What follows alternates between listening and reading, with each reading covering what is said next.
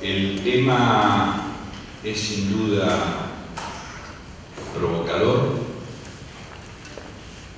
nos abre varias perspectivas de análisis y yo voy a proponer solamente algunos puntos como para iniciar la reflexión y el debate. Esta reunión que, que han tenido en estos días, siempre recuerdo a una figura de la tradición occidental en la antigua Grecia, cuando estoy en congresos de este tipo, y particularmente creo que Copusi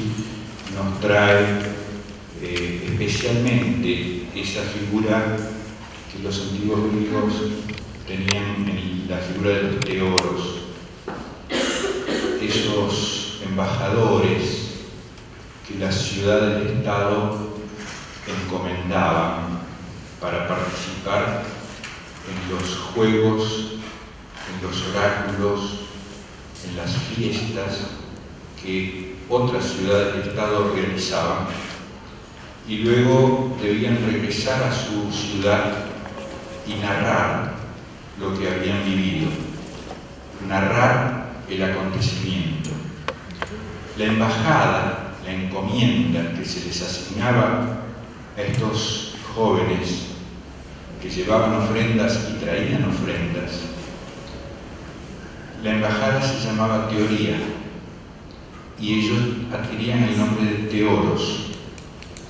Esto implicaba que su misión era volver a presentar la realidad, reconstruir lo acontecido, lo experimentado. Y en esa reconstrucción había, por cierto, diferencias. Por eso la encomienda nunca era a un solo teólogo, era a varios y una delegación, y todos narraban a su regreso lo que habían vivido. Y se suscitaban debates entre los teólogos, y esos debates permitían ajustar a los espectadores y tener una idea más aproximada de, del hecho narrado. Y había unos teólogos que eran los teólogos heraldos, y me parece que los comunicadores de la ciencia están cerca de los teólogos heraldos, que eran quienes además anunciaban las cosas nuevas que habían acontecido en, esas, en esos episodios, en esos juegos, los délficos, los olímpicos, y como siempre había algo nuevo que aparecía, los teoros heraldos eran los encargados de anunciar las novedades. Y ahora, saltando algunos siglos, venimos a preguntarnos en esta reunión de teoros y de teoros heraldos, porque aquí hay de los dos, hay quien hace ciencia y quien comunica ciencia, eh, ¿cuáles son los puntos oscuros, cuáles son las sombras. Y del mismo modo que no habría música sin silencios, no hay ciencia explícita sin conocimiento por venir. estos matices hoy creo que se instalan en un debate que tiene que ver porque estamos en, tiempos de cambios epocales, vivimos tiempos muy contemporáneos, diría nuestro querido Mendieta. Eh, en estas contemporaneidades posmodernas, en donde los grandes relatos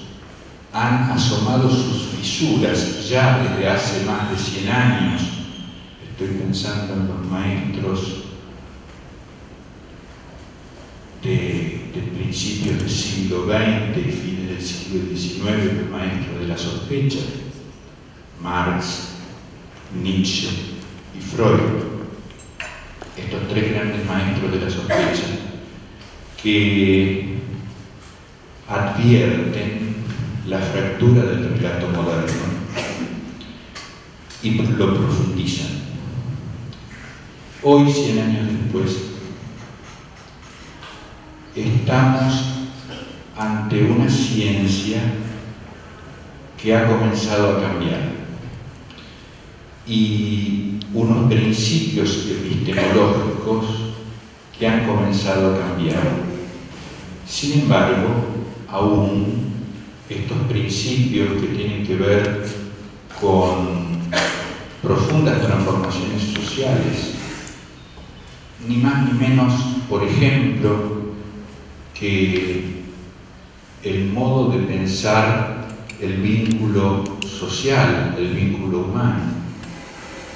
el modo de sentir las relaciones interpersonales, el modo de expresar estéticamente el hecho humano,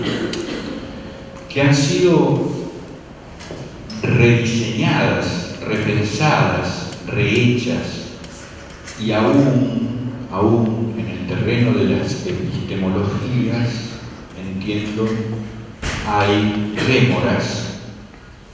de una ciencia que está en ciernes, que se está haciendo, pero como suele ocurrir, avanza primero el conocimiento y luego la reflexión sobre el modo en que se produjo ese conocimiento. Hace relativamente poco, comentaba recién con los colegas, asistí a un panel en el que estaban presentes el rector de la Universidad Coya, el rector de la Universidad Aymara y el rector de la Universidad Quechua de Bolivia. Universidades en las que se investiga en paradigmas muy diversos que los nuestros paradigmas, con criterios de verdad muy diferentes se construyen verdades. Tenemos con la profesora Elena Gasparri una, diría algo así como, una vieja manía, ya que es debatir acerca del concepto de verdad en la radio, en el programa Lo que es la ciencia. Y lo que me llamó la atención en ese panel fue algo que dijo el rector de la Universidad Aymara. Hablando de la ciencia moderna, decía él, la ciencia moderna construye el pensamiento crítico sobre la base del pensamiento kantiano en el concepto de oposición entre el hombre y la naturaleza. El problema, dice él, es que nosotros somos Y entonces ahí yo sentí que se me daba vuelta el mundo, que tenía que volver a pensarlo, que tenía que volver a revisar la crítica de la razón pura, porque tenemos que poder pensar un nuevo modo de construcción de verdades pero no solo en el plano de lo filosófico, y aquí creo que está el desafío, sino en el plano del hacer la ciencia, en el modo de validación, en los conceptos sobre la validación de la verdad y, por supuesto, en las estrategias metodológicas de la investigación científica. No quiero, no quiero extenderme mucho más, quiero dar lugar al panel, solamente me voy a permitir leer un breve párrafo, ya viejo, pero que me parece interesante. Dice, en algún apartado rincón del universo centellante, desparramado en innumerables sistemas solares, hubo una vez un astro en el que animales inteligentes inventaron el conocimiento. Fue el minuto más altanero y falaz de la historia universal, pero a fin de cuentas solo un minuto. Tras breves respiraciones de la naturaleza, el astro se heló y los animales inteligentes hubieron de perecer.